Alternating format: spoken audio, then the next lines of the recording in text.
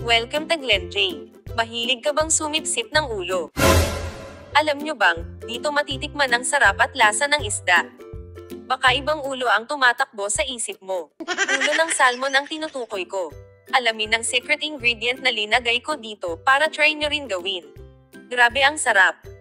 Tara, magumpisa na tayo. I-lightly fry muna natin ang ulo ng salmon gamit ang cooking oil o olive oil.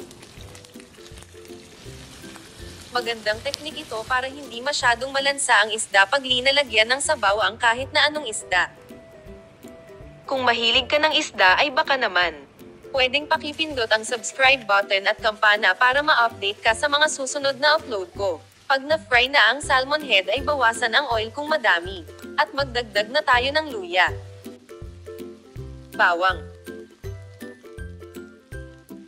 At onion.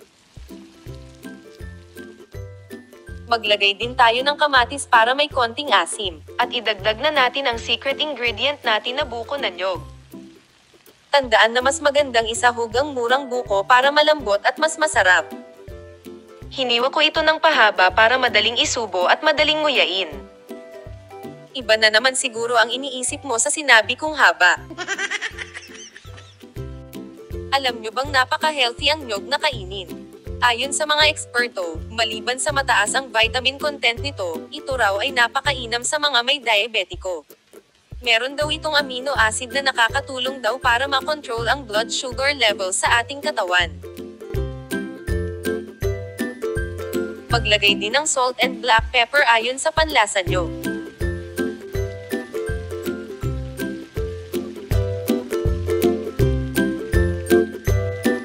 Maglagay din ng chicken or cube para mas malasa.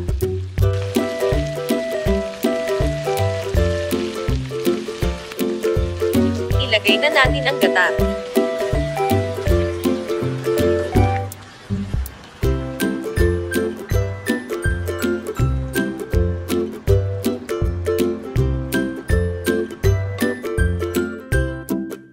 Idagdag na rin natin ang Spanish sweet paprika powder. Ito ang ating secret ingredient. Para hindi malansa at para masarap ang sabaw. Takpan at pakuluan hanggang maluto.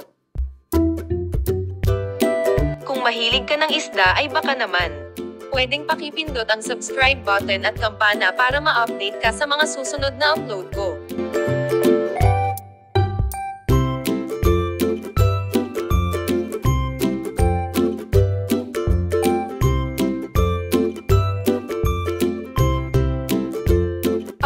Na ang isda ay ilagay na natin ang ating bell pepper. Masarap at pangtanggal lansa. Gumamit pala ako ng nakalata na bell pepper dahil ito ang available sa aking kusina. Pero okay lang kung gumamit kayo ng fresh bell pepper. Siyempre maglagay pa rin tayo ng sili para pandagdag aroma din sa isda.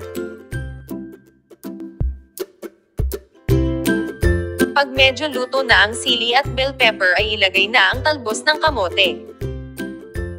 Ipagpatuloy lang ang pagluluto hanggang maluto ang talbos ng kamote.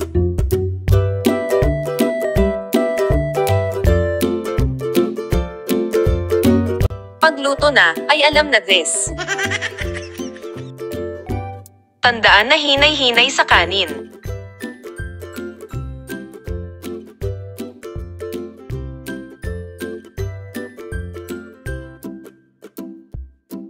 Masarap ito papakin kaya tara. Kainin na natin habang mainit pa.